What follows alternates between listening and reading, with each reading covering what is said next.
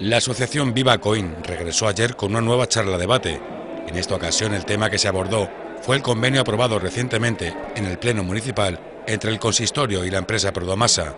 Entre los asistentes aportaron sus posturas los representantes de los grupos políticos de la corporación municipal. La posición de Izquierda Unida pues sigue siendo la misma, cantera sí, pero de forma controlada, gestión pública y desde luego no con esa cantidad de, de hectáreas. El Partido Socialista mantiene la misma postura que ha mantenido en estos años, a favor del convenio, a favor de las canteras, siempre dentro de una reglamentación, siempre dentro de unas normas a cumplir y que beneficie al pueblo lo máximo posible. La posición del equipo de gobierno que defendimos en, este último pleno es la de los beneficios que ha traído el convenio y todo el proceso de negociaciones que hemos tenido, eh, tanto como la empresa como con la Delegación Territorial de Medio Ambiente. Esperamos que el debate siga sus cauces, estén dentro de un buen ambiente y por supuesto cada uno va a defender sus posturas y cada uno va a dar sus argumentos, tanto técnicos como que esté todo fundamentado e intentemos de llegar donde estemos debatiendo sanamente. Además de contar en la charla debate con los representantes municipales que votaron en el último pleno este nuevo convenio,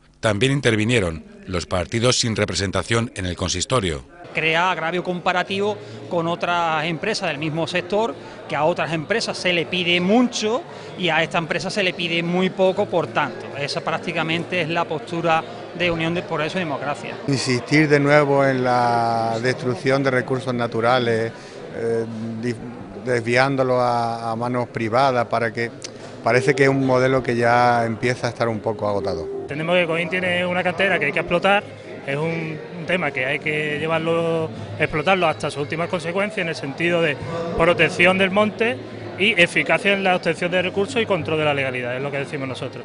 También manifestaron su postura en el debate los colectivos interesados en participar, tanto los de carácter medioambiental como los vecinales. Desde Sierra Viva Coin lo que estamos haciendo es eh, enseñando al pueblo que hay otras alternativas, que no solamente son las canteras las que las que nos están dando hoy día hoy día de comer, ¿no? sino que hay otra otra forma de, eh, de, de, buscar lo que es eh, creación de trabajo, de puestos de trabajo, incluso a nivel de economía local. La cantera en sí es necesaria porque no hay otra cosa actualmente en Coin, desgraciadamente no hay turismo ni muchas otras alternativas, pero que sea un convenio justo es un convenio justo tanto para la empresa como para Coin.